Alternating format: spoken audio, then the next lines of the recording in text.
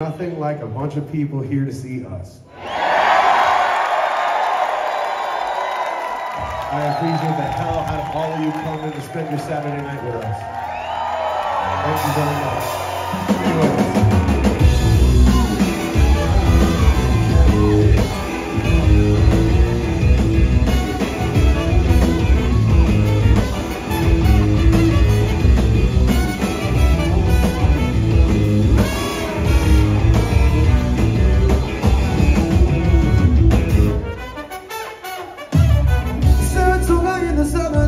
Is where these hooligans get around.